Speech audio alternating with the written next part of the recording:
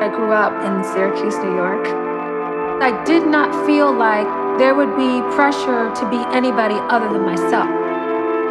The tug of war was about my sexuality and how much of that I was willing to like literally strip down. I never wanted to be objectified while doing my music.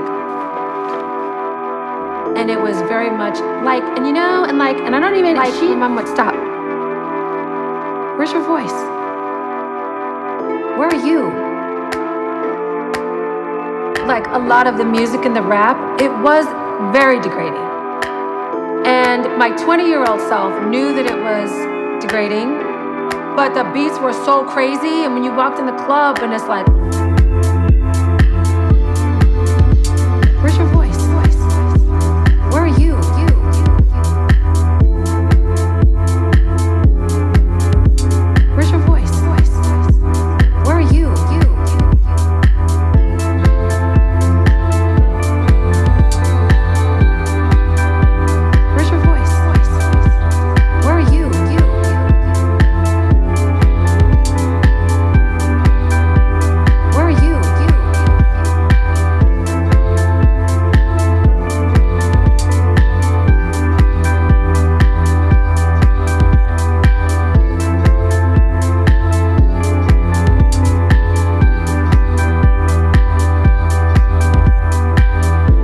concept, as you can see, we we're really uh, very animated.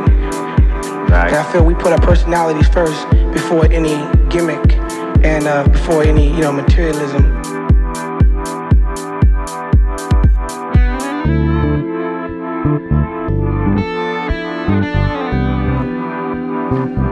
This really deep brother sisterhood was starting to get affected by the machine.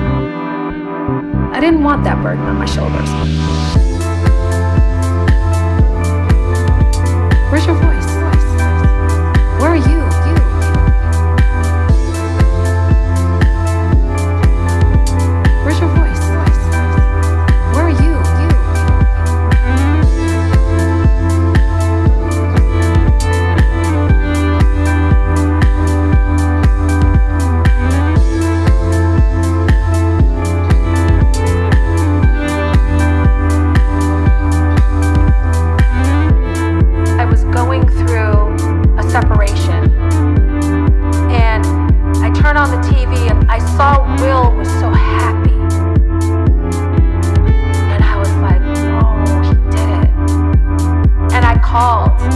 And I was like, I just, I'm away, I'm going through a tough time, and I saw you on TV and you were happy. And I just need you to know I'm happy for you. Like, you did it.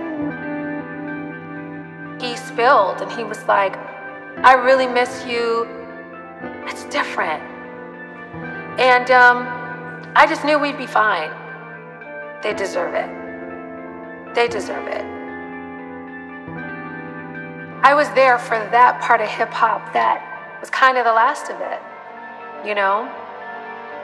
And um, like no one can ever take that. I have my happy.